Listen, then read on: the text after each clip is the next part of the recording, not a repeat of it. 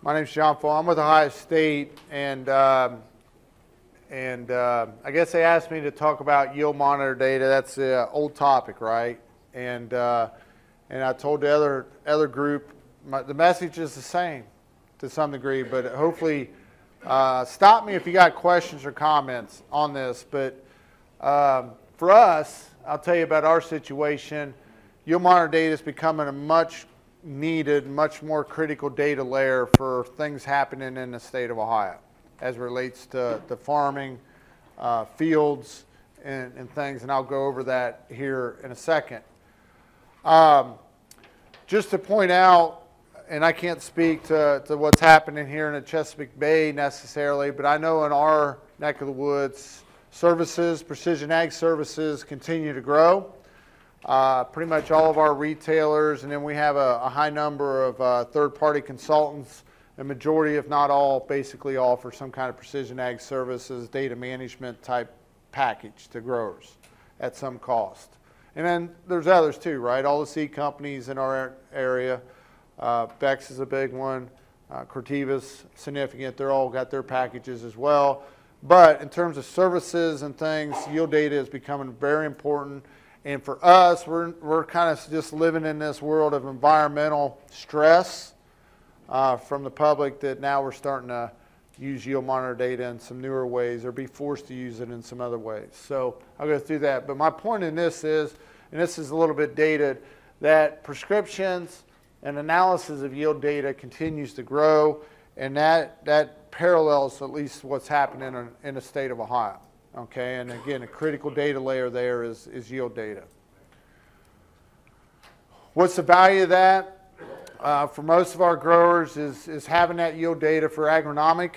Uh, we'll go through some examples uh, and, and to some degree running a farm business as far as uh, verification and also being able to, to get back quality uh, services from these companies that, that are providing them the science here, and I know you don't want to hear all this, this is the painful thing is, is that uh, calibration is a necessity, although we're, we're moving in this direction as a, an industry of some auto calibration.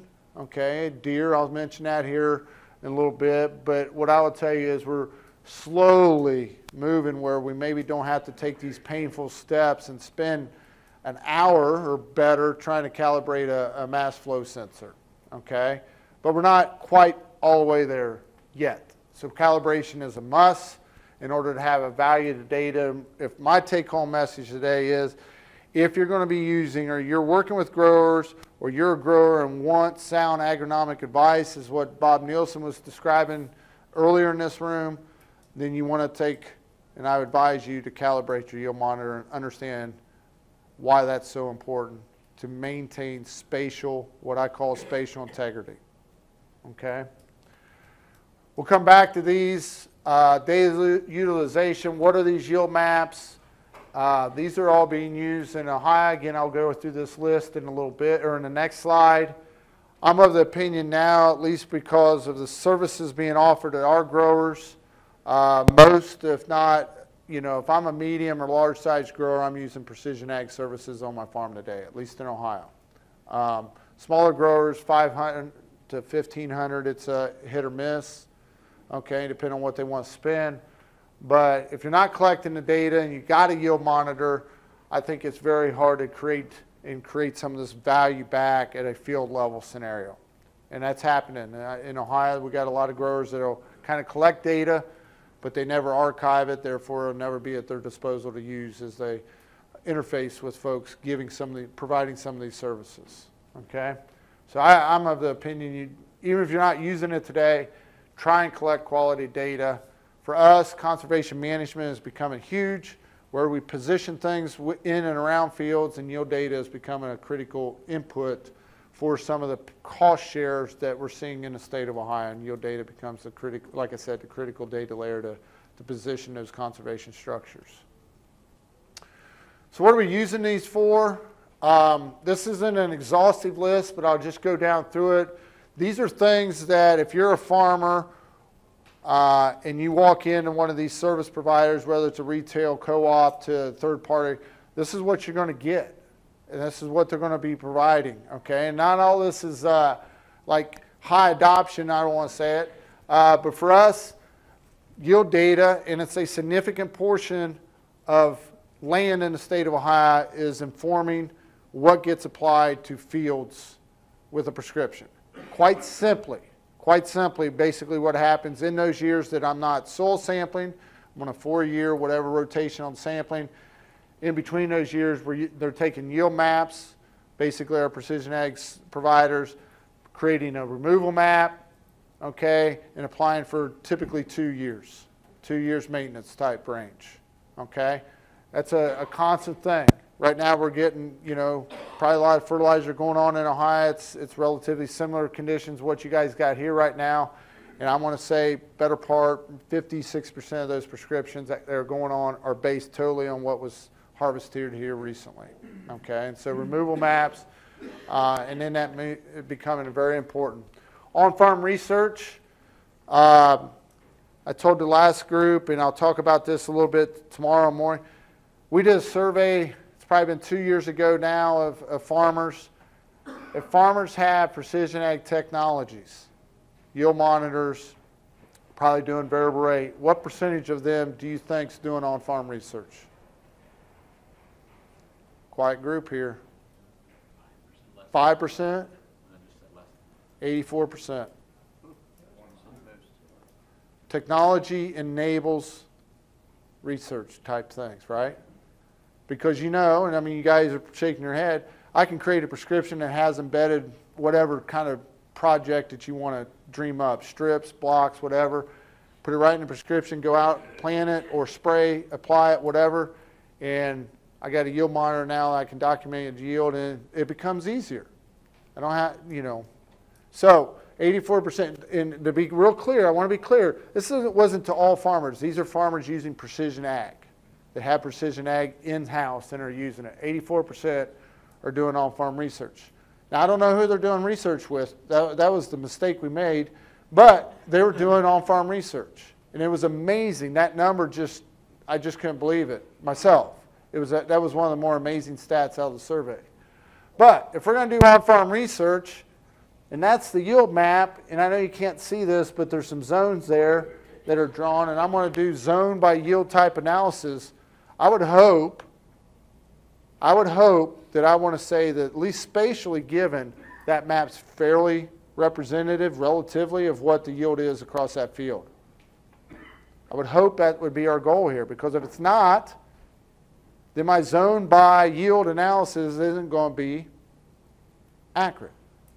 Okay?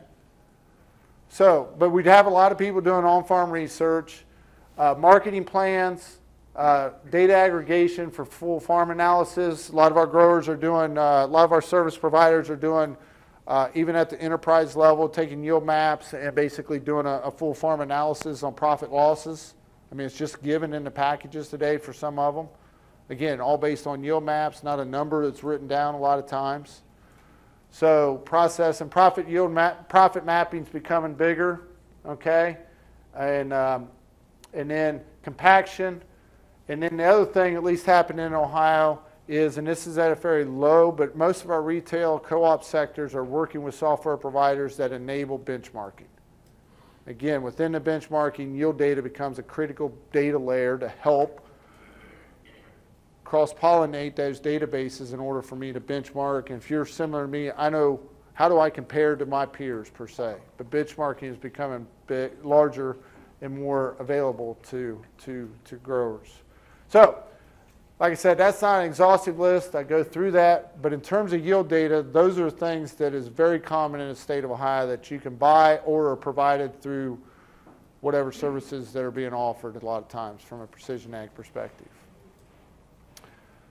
For yield data references and what I get into here next, here's three uh, suggested extension publications if you want to dive into this. Two of these are Nebraska, okay? You can either follow this link if you have the presentation or put in that, uh, just uh, put in that title. And then this last one is something we put on. And, but if you're into calibrating yield monitors, I would suggest It's not the best thing, I- I'll be the first to admit, but we wrote up trying to share our experiences of the kind of do's and don'ts. That includes using scales on grain carts. How are those properly used to calibrate a yield monitor? For example, don't sit on a 5% slope and take the weight off the cart, you know, kind of scenarios. But those are experiences that we've lived through. But those are things that are all embedded in that that kind of help make sure when you're calibrating, you're doing it properly. So just some suggestions on, on some things out there and some of the comments I make, some of the pictures, images I make today are in these, in these uh, fact sheets. On our website, if you ever need uh, on our digital ag slash precision ag, we have a whole page that uh, offers uh, harvest information, including we try and maintain a, a, listing of calibration sheets. Most of you may know if you're writing a combine, kind of a two-page thing, what's the procedure that you have to go through. You take a John Deere combine, I do the vibration, the temperature, then the mass flow, moisture, all that in kind of a sequence. Those, those kinds of things, if it's lost, are there, can be downloaded, printed, and be available when you go through that. So enough of that. Data quality. That's what I'm here talking about. Why is this topic so important? Um, a few things. I, I got two that we're going to talk about today in red. I'll let you read those, but it boils down to calibration and management of that combine slash yield monitor and combination. And then missing field data. Uh, that's a common thing.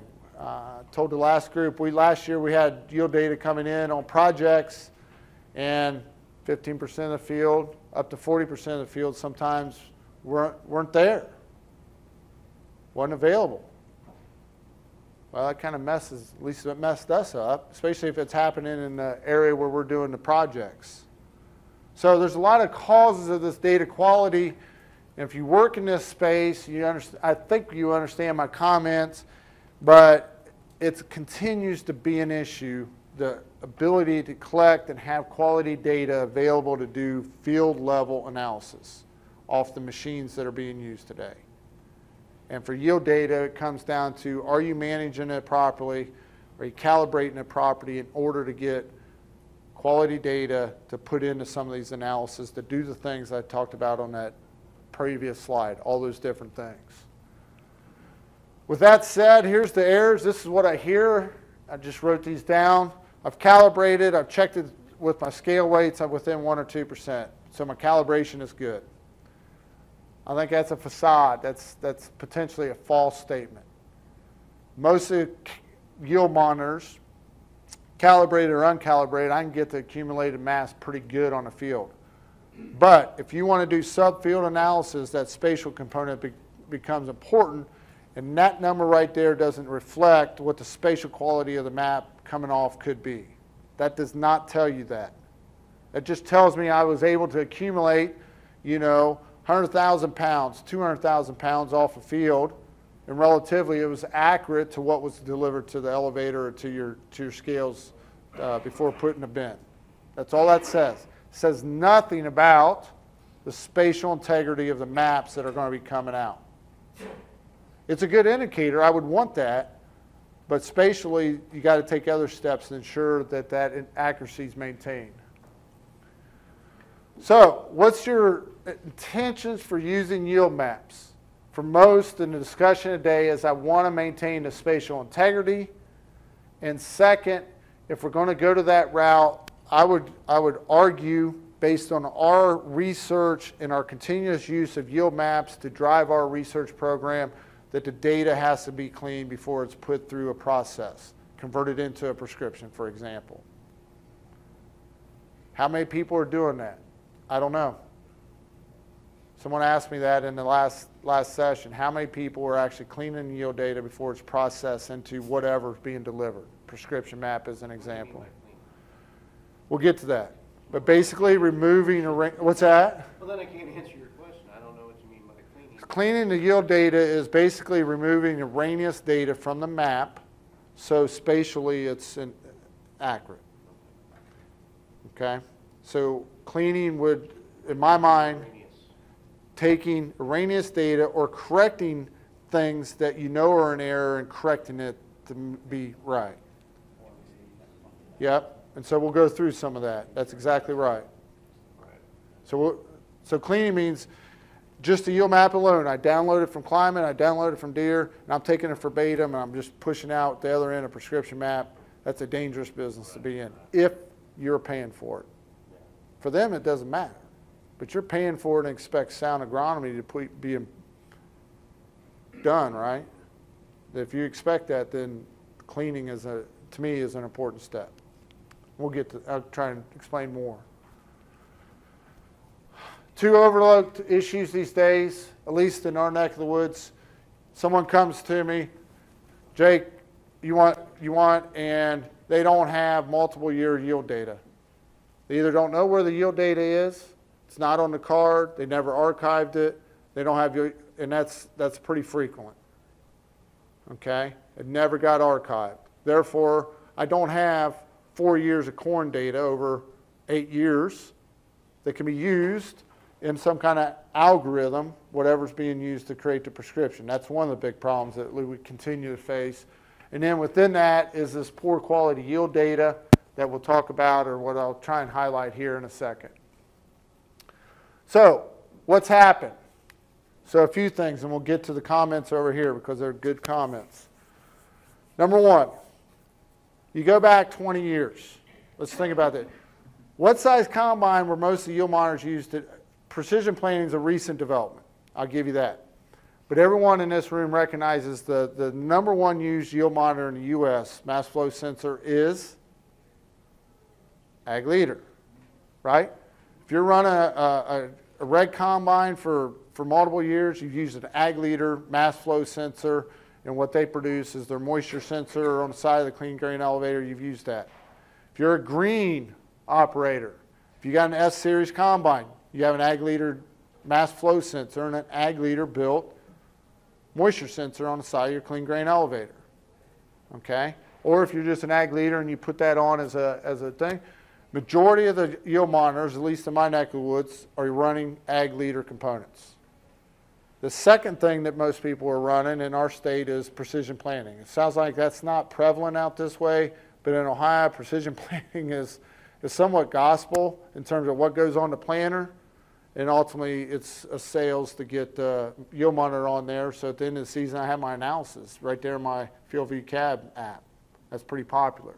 Those are the two most popular. Okay? So, but in that, in the last 20 years, what's happened to our quality of our yield data? It's gone down. It used to be the, the, the highest resolution data that you could collect on fields was probably yield data. You get 20,000, 100,000 points per field per year. But today, to your point, I'm going to assume we got quite a few 40 foot platform headers running around out here. Probably got a lot of 12 foot corn headers running, maybe eight. And the other difference was back when the Ag Leader was developed, and I'm not getting on Ag Leader about this, but just think about the changes that have been made, even in the last 10 years. All those things were built for what class combine? Five and six, Five and six. What are we using today? eight and nine. Eights and nines. Anyone notice the difference in the clean grain elevator? Anyone know a difference in the, the mass flow sensor? Same sensor, pretty much. But my point in that is, I'm not saying, I just want you to recognize that size and the portion of the grain flow has changed in what we're sensing. Okay? And today, what I can get high resolution imagery, I can get high resolution planning data, and guess what's been our limiting factor in recent years of data on a field? Yield data. It's probably as low resolution based on, at least that's been our, uh, Maybe you'll get to this, but do you see that replacing yield data in the near future? can we s- Yeah. save that to the end? Because that's a good question. The question is, I think, remote sense imagery. Yeah. Or something, yeah. Does that help? And we can, I'll touch on that right at the end. So, but anyways, my point is we have changed the table. It used to be yield data was the most accurate, or most highest resolution. Today, depending on where you're at and what you have access to, it's probably the least, could be the least resolution data. So I can't see sub planter, whether it's 40 foot, 60 foot planters, I can't see sub planter type impacts. Take pinch row compaction, for example. You hear that comment a lot. I can't measure that with a yield, uh, a grain yield monitor today. But do you think the precision, now the precision, you know, they're, they're weighing in that bucket elevator, that clean grain elevator, instead of using the impact plate at the top. Do you think they're getting better resolution with that over the ag leader? Let me come to that too. Make sure you understand what you're saying, but I, they are using an impact sensor. The bucket is there for a different reason. The impact sensor, and I'll show a picture of that real quick, make sure we're clear on that. But it's, it's relatively the same as Ag Leader, just positioned a little bit differently. then it holds calibration better, the precision holds calibration better than the ag leader. Yep, and I'll talk about that. Yeah, yeah, those are good points. Anyways, you get my point. So going back to the comment over here, what's that area right there? What that is that area right there? That's the hydrostat. That's not the not the mass flow sensor or yield monitor.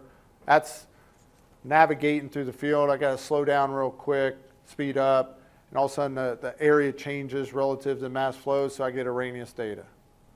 So my point is, if you don't remove that, it's, there's an artifact there, okay? And I'll show you on the next slide.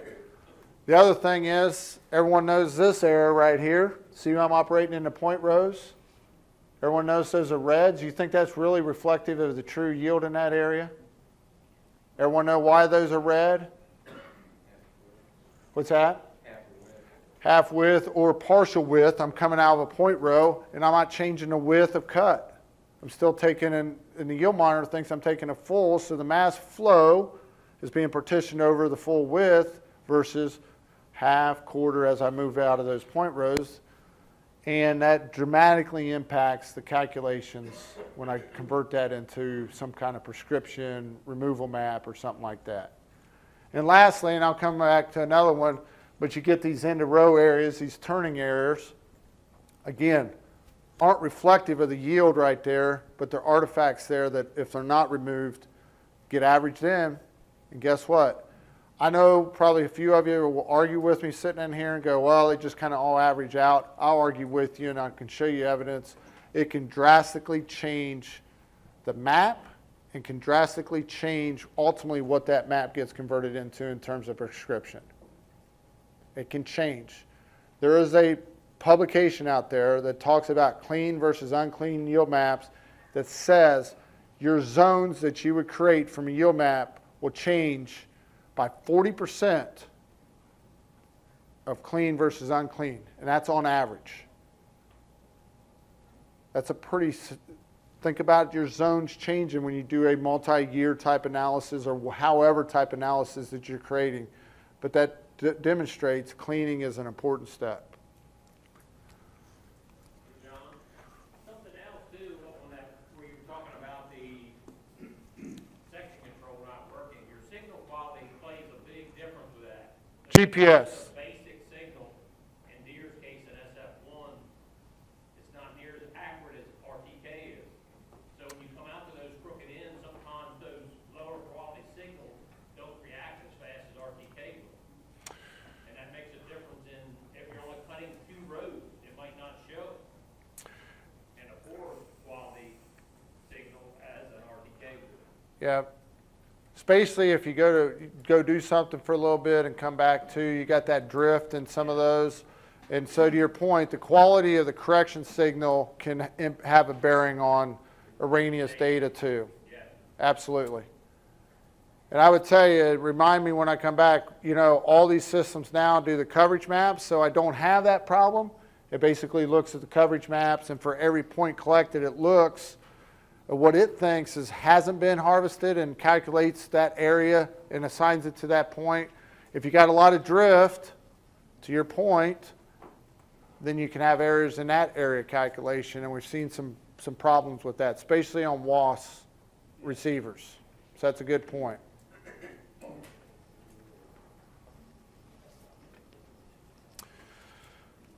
So this is pretty common. I mean, this is a 40 foot uh, Draper. This is uh, one of our research combines that, that we're running. But again, as we think about that, you think about all the averaging, and everyone knows it takes how long to go from the tip of that header up into the mass flow sensor? Somewhere on average 11 to 13 seconds. Meaning as it gets harvested out here, transmitted up through the feeder house, through the threshing unit, drops out the bottom, up the clean grain elevator. That's somewhere, depending on the, on the combine, 11 to 13 seconds on average. So a lot of averaging, besides going big, going on to get that one mass flow measurement, or a mass flow uh, measurement. So let's go back to this map. So everyone has this in their mind, some of the, what this map looks like. So if I'm a company, or if I'm trying to do it internal to my farm and I'm going to create a prescription map, the first thing I'm going to have to make a decision is I got to either grid that yield or I have to contour that yield in order to come up with, we'll say, the prescription at the end of the, the process here. Okay? The question is clean versus unclean. Clean versus un. Hopefully, I'm making sense on what clean means. I'm sorry about that. So this is the raw data. This is this map right here, and we're trying to make a fertility prescription out of it. That's what we're doing for this farmer. And I gridded it over here at 50 foot grids, just arbitrarily picked. It's some relatively common sometimes. And then I also contoured. All this is just done in SMS. All right? So that's what the, just taking that data right there and gridding it on 50 foot, basically, or contouring, that's what the map looks like. If I clean all that erroneous data out, those point rows, I know that there's where I stopped or accelerated or deaccelerated, which happens. It just naturally happens for whatever reason, rocks, whatever might be in the field. When I take those out, I basically took all that erroneous data out and recreated those maps. Do you guys see a difference in those maps? Absolutely. There should be several areas that pop out to you spatially. Not all areas change, but there's a change in the way that looks. And that is what I'm saying is if you're not taking this step, you're going to have some underestimates of yield in some areas before you go into whether it's a removal map or however that map's being used for the process, analytical process, profit map, whatever. Okay? So that's one example. Uh, one field, one example. I'll come back and show you one at the end as well that we're doing uh, on one of our research farms. But hopefully that's kind of getting my point about this kind of cleaning comment, taking er- errors out and getting it correct, corrected spatially. Every combine has a, a combination. Everything's different. This is kind of one of those things. So this is this combine. Kind of think of the, me running it versus Jake running it. Are we going to run that combine the same way? Absolutely not. And if the result of that is what that mass flow sensor is estimating as mass flow is going to change the way we operate that combine. Right? There's operators and there's drivers. Okay? A lot of us are probably drivers, maybe not operators. Okay? I know I'm a driver some days, especially when we're down to crunch time. You become a driver. But the point is, these proof, this is just a distribution of speed over the same field. Kind of think of taking every other pass and harvesting, throwing a new driver in, and we all operate at that system. The result of that is a different yield map. Just slightly different type of yield map comes out because of that. Just be aware of that. So if I'm not calibrating it for me, and Jake's not calibrating it for him, or we calibrate for one and but not the other, there could be some differences. Just throwing that out for everyone. This is what's out there, and so I'm going back to your comment. This is the ag leader. If you got one of those old 9600s, 9610, 30s, those have those old John Deere plates. You remember how many calibration points that you needed for those? One, then they went to two, it very few, if you remember. But ag leader uses four to six. So if you're a Deere Case or an ag leader user, you're probably going to be doing four to six points per uh, calibration. And then there's your precision planting, all mounted up here on the top of the, the, the, the, the clean grain elevator. Okay, so that's the mass flow sensor that, that precision planting came out with, impact style. What I want you to think about, I thought I, just uh, real quick, I'm not going to talk about this. We can have a whole nother discussion. If you're a Challenger, I don't know if Challenger uh, is out here much, quote Claas, they all use optical sensors. That brings a whole different set of uh, pieces in. But what I want you to understand today is we do not calibrate a yield monitor to bushels per acre. Bushels per acre is a calculation of the yield monitor. What we measure, okay, and let me use Ag Leader, what we measure, try to estimate, is pounds per second flow that then gets converted into and calculated into bushels per acre estimate for every point. And I think that's important because a lot of people talk about, well, I'm going to clean my clean my uh, uh, yield data. I got a bunch of errors in it, so I'm just going to throw anything above 300 bushel out and anything below 50 bushel out. And my point is, do you know what really caused the errors in that calculation? It's not the bushels per acre. It's not the yield that's in error. It's one of the measurements that was used to calculate yield. In this case, mass flow sometimes. But mass flow, very simply, and I want to show you this, is, and this is very simple, trying to keep it simple. As this deflects, basically the voltage output of that sensor, you get a voltage output, and we try and calibrate that voltage output to a pounds per second flow measurement. Voltage, pounds per second. We're not calibrating the bushels per acre. We're calibrating pounds per second flow to a voltage output of the sensor. Okay? You'll notice I don't talk a lot about moisture sensors in this, in this discussion because if it's properly cleaned and properly calibrated, they, they, they will give you accurate moisture sensors. That's a whole different business. But the mass flow, okay, in this, it's actually pounds per second, and that is what we need to be cal- calibrating for. So, this is a typical, this is an actual output to one of the sensors I've showed you is voltage output versus pounds per second. I'm going to assume most of you have never seen this chart before. Voltage output on the x-axis, pounds per second on the y-axis, and it's the calibration of that. You see two points there. In this case, trying to draw a line between the two points to calibrate the yield monitor, or mass flow sensor, excuse me. Anything unique about that mass flow sensor that jumps out? Not linear. So that should tell you right now, I can't do it with one point. Can I do it with two points? Nope. I'm going to have to do it with four or six points, given what the recommended. I would encourage more the better. In order to map out this right here. Now, going back to my point about Jake and I driving the same combine with the same calibration, what I would tell you is this will slightly change when I'm in a combine versus when Jake's in a combine. This nonlinear response is the same. People argue with me sometime on this. Doesn't matter what yield monitor you're using. If it's a mass flow sensor, that's the type of output. There is no linear output of a mass flow sensor on the market today. Does that make sense? So if you're doing one point, you're not going to calibrate the mass flow sensor. Does everyone kind of get what I'm saying on that? Over here is the list, okay? And we've done um, several tests. What I would tell you is what impacts that slope or that curve on there? Grain moisture. Grain moisture is a significant. Most of you probably already know that. So what does that tell you?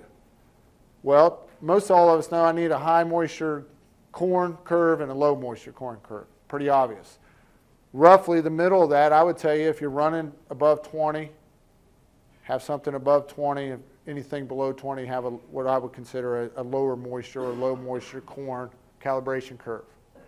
Soybeans, our neck of the woods, we typically can get by with one, but our variation in moisture content as it relates to soybeans, I mean, we're between 11 and 16 percent relatively most days. Sometimes we'll get down to 10 and 9, but most of the time we're not changing that much in a field or as the harvest season goes on, and so we relatively can get by with one calibration. Makes sense for everyone? But grain moisture, a significant change in grain moisture will influence that curve that you see. Okay? Secondly, test weight. Test weight. And we'll get back to your point in a little bit. Anyone in here change their test weight or recalibrate when you have a significant change in test weight? Anyone in here do that? I doubt it. I have a question on this. What, what is going on in the, this calculation when you might go out and run a true calibration, but then start adding true weights back into the, to the combine? Is that adding points along that the whole time, or Yep. that working? Yep, I'll show you that in next, next slide, what happens. But you're at basically trying to get a point, and you get enough points over flow, a, a range of flows. We, we think about it in bushels, but really it needs to be pounds per second over a width of flows in order to map that curve for that combine operator We do combination. have operators doing that, which in a sense would just by default do exactly what you were Yeah. saying. Like as the moisture and the test weight, as everything changes, there's more loads being put in. Can be put in. But what I'll tell you is, what we found uh, in our research is a, a plus or minus two point movement in test weight requires a new calibration. I mean, you get to operate in potentially plus 10% and not know it. So my example is if I'm doing corn and I calibrate at 56, roughly 56 pounds per bushel on my test weight, I'm pretty good between 54 and 58. If I get in really good corn, it's high test weight, 59, 60. If you're really serious about this, you want to be recalibrate. That curve moves. That's the influence of that. Uh, combine roll, just throw this out. Combine roll, so if I'm moving, we're thinking this way. Does that influence the mass flow sensor? Sure, but it's very minimal because they account for it. Okay? So roll typically isn't as much of an influence. It can be. You know, if I'm running on 2% slope and I jump up to 10% slope, no doubt about it. That's a significant change. But for most of, I'm assuming, whatever we calibrate, we're not going to be making a huge difference in our roll. However, what do you think about pitch? Pitch has a huge impact on mass flow sensing. And quite frankly, what all it is is you're going downhill, you got gravity working kind of on the grain, going uphill against it. The angle's changing, how that, that grain's coming over, and can have a tremendous impact. So, if I'm sitting in here and I'm working with Jake and we're doing a test plot, do I want to go up and down or across the harvest? And plant and harvest it? Across. Because I'm assuming most of you are going to start left, or, you know, you're going to be doing adjacent passage. You're not going to go back to, unless you're going to go back to the same end and do the same direction every time, you got to go across to minimize the effect of that. So just some points and all that. So back to your comment, okay, and we'll skip this, but everyone's a little bit different. The more the merrier. And when I tell everyone, I'm going to project most everyone in here probably only calibrates this. They never get low enough and they never really get high enough to really map out, but it's somewhere in between, and that's what you're doing. So when you do your speed or width of cut changes, what you're really trying to do is map out and put a curve on that on that line for that operator per se, specifically to the mainly the combine, but the operator as well, trying to map that out. And when you get all that flow, if you can get across expected flow, you're going to do a good job and get quality spatial yield data. What hap, like I said, most people don't get down in here too much. Never get down here and be able to map this out. They end up calibrating between here and here. I can send you some, some things that shows that, shows that. How do you get down to that low? Well, you gotta drive really slow. That's a pain in the ass. No one wants to sit around filling a tank for one hour, right? Just to get 4,000, 8,000 pounds, whatever it is that you need. But the point is, if you're really serious about it, and what I talk about in corn, if I'm gonna go out and calibrate corn, I'm kind of 150 and 180. But in this case, I know in our neck of the woods, because of the, the spring we had, we can be 200 bushel in the field and 50 bushel. I'm gonna tell you that 50 bushel, there's a good chance that's plus or minus 10 to 20% off. Because we never calibrated down that area. That's what I'm saying, okay? How do you do that? My suggestion to you, every yield monitor has a screen that actually gives you a pounds per second output. Look at the pounds per second and make sure you're getting down to low flow rates or getting yourself adjusted down to flow low flow rates and make sure you're over the full range of expected for the field. Does that make sense? But every display can give you pounds per second and that would be the important thing to make sure that I'm getting low to high and I'm, I'm calibrating to your point earlier. Lastly, and to your point, this is what Precision Plan did. Precision Plan did two things for everyone in this room. Number one, they made a clean grain elevator, which had been out for a while, just no one used it, that has paddles that are the same shape and size and form. Is that important? Yeah, what is most of our clean grain elevator um, made out of? Tires, old tires.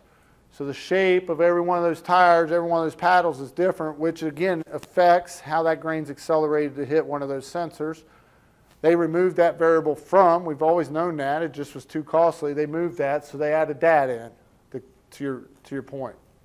Secondly, you can't have this option of a grain property kit. Basically, for every rotation of the clean grain elevator, they can begin to assess or recalibrate as changes in test weight occur.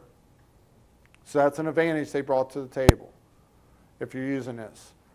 So as the grain characteristics, physical characteristics change, moisture, test weight, those kinds of things, they can account for those changes and update that calibration on the go essentially. So that's an advantage to that. But again, that sensor's at the top of the mass flow. All that is is feedback to the, the algorithm in the, in the 2020 per se that's calculating what ultimately is the mass flow measurement. Okay? So that's something that's out there to consider. John Deere has active yield. If you have a new S series combine, it's basically a seven. I think it's fairly common on sevens today. You can put it on some of the old sixes. You'll see that configuration in the tank. What is that?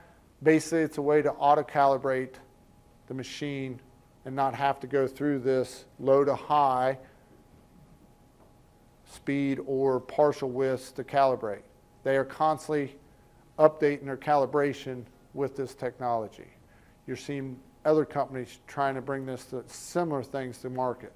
So the idea here is I don't have to calibrate, the system auto calibrates itself. What I would tell you today is if you're serious about doing kind of on-farm research and you got a project that's very valuable to you, I would still do the routine, basic four to six point calibration.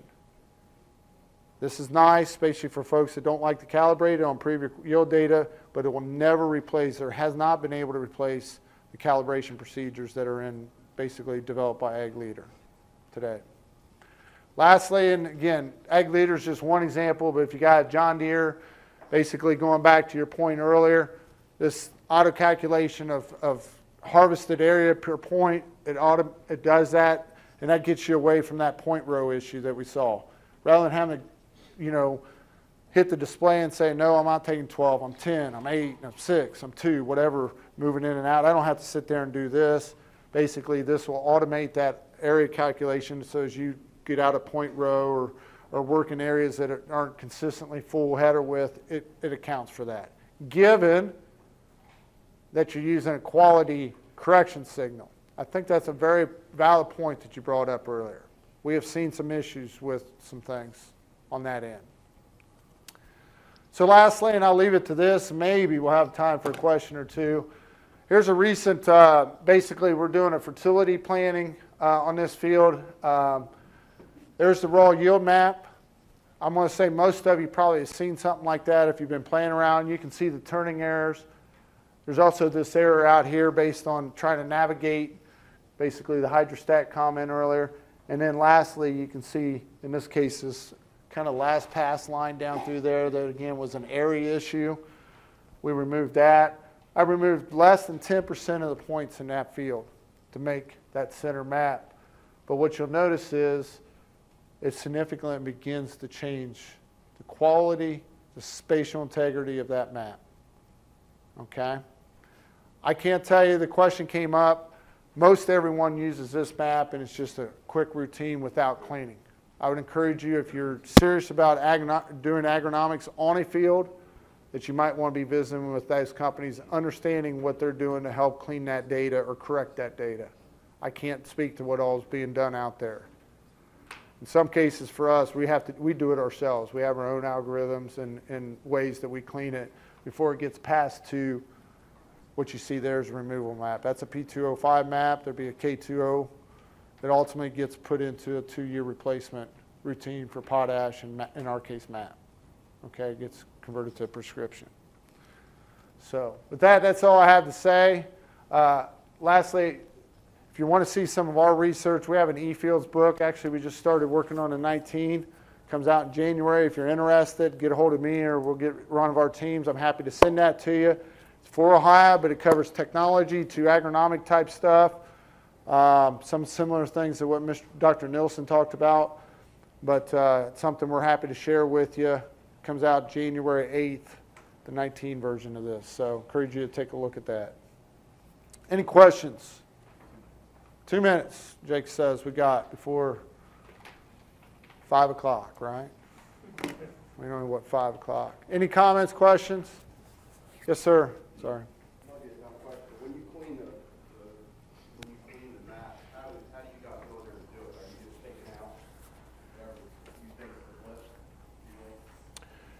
you is question, how do we clean maps? So, um, first of all, I look, a couple things I'll give out. I look at moisture as one variable, because again, moisture is measured. And those sensors, regardless of whoever's using it, are only good from about 8, 9% up to about 32, 33%. So if there's a moisture point in there that's like 40, 50, which isn't typical, usually it's on the lower end. It'll be 5, 6. You don't know what the moisture is, and we remove it. Typically, that's very few points. So that's one thing that we go through and do immediately. It just says at that point, we don't know what the moisture was. We don't try and look around. We just get rid of it. Mass flow, we look at mass flow and we look at the combine model and know what the limitations, because if mass flow is like 85 pounds per second, the combine can't push that much through it, so it's gone. It's erroneous, and you don't know how to correct it. So we look at that. We can look at speed to look at these quick changes. You can look at that real easily based on speed, you know, what, what kind of change. And a lot of times the, the yield in that vicinity is a lot different, and we can auto select those and, and we remove those. The turnings get a little bit harder. I, I don't know you guys up here. We do not just throw out zero pounds per bushel data just to throw out zero pounds because sometimes that is, especially a year like this where we had a wet spring, there's drown out areas. Guess what the yield was? Zero. That's us. So what we do is we look at the turning, basically the bearing, and we can we can a lot of times select where you get that double, you know, you get the headlands. We want to retain that. These typically turning happen at a different time, and we can look at the bearing and we, we remove the, the turning aspects out, that those red points very typically very easily. Does that make sense? And so that our routine doesn't get all of them. You probably saw a few reds that just keep, but it's a lot better than what it was. And yeah, you can I guess throw darts at me, but that's we Completely throwing them out? gone. They're gone. Less than 10% of the points in that map are removed. Not adjusting the values, you just remove. Gone. And the point is, I don't know what the, the measured value is. So you'd be better off not having it than taking. That's, I mean, I don't know what it's, yeah, so ultimately the yield ends up. So a lot of times when you see, this is my point, a lot of times when you see 500 bushel corn. It's not, it's, it's either mass flow are typically area calculations, the result of that. That's what caused the 500. And so if the area is wrong, we could be able to adjust that, but a lot of times we just throw it out because we got enough yield points around it. We can, we're, I throw out 20 points in an area, I still got 100, 200 of them around. I can still do a good, it's still going to do a nice analysis. When you look at this last year you guys just went through, next year you go to do your multi-year yield analysis, does this year go into it or not? So that's why I sit back there when Mr. N- Dr. Nelson was talking is, we're not sure what we're going to learn from this year. Right? I, I mean, we struggle with that on whether it's a field, like a replant issue or whatever, you know, most of the time you figure you may as well kick it out because you just, it's almost as bad as those red dots there, unless it was truly something that you feel like is gonna be repeatable. Yeah. So his point is, is at least in our neck of the woods in Ohio, we, we didn't get corn planted till June. We got beans in some areas planted in, and, you know, it's ty- atypical. It may be normal, but we'll classify as atypical. data, but you just may not use it for. Yeah. I mean, is that the way you look at it or not? So we normally will archive every year's yield data. We're into that. We, we believe in that. Archive that display data before we even clean it. I, we keep a copy of every yield map and keep that hidden over, not hidden, but archived over here. We make a copy of that and then we do our cleaning algorithm so we can always go back. And I bet if you came to our farm uh, or came to our database, that's what you'd want. You wouldn't want what we clean because we may not be able to, you might have a different algorithm. But it, whether you keep it or not, I, I don't know. We're struggling on that. How do we select some of that data? So, um, so sometimes we'll em, em, employ a three standard deviation if you want to talk statistics. So anything outside that three standard deviation will get removed. Um, normally, we go through the process, again, I'm not saying we're dead on. We go through the process and look at the mass flow, we look at the, the, the moisture, and make sure it all is within the reasons, the reasonable ranges that we expect. Not saying it's accurate first. And a lot of times that will get rid of, in these, these spatial things, like the turning errors get rid of all those. That'll take care of a lot of that. So when you get into that whole statistics, what to remove, if you are going to move, sometimes we'll catch some of the things that don't get done in that filtering process. But a lot of times getting rid of those error points uh, minimizes this a statistical process. I'm not saying that's accurate, but we will employ sometimes a three standard deviation selection. On, on, on- and we're, when I say that, I'm doing that on mass flow or I'm doing that on moisture, not yield. Because that's what's measured. Yield's calculated. Five o'clock. Thanks.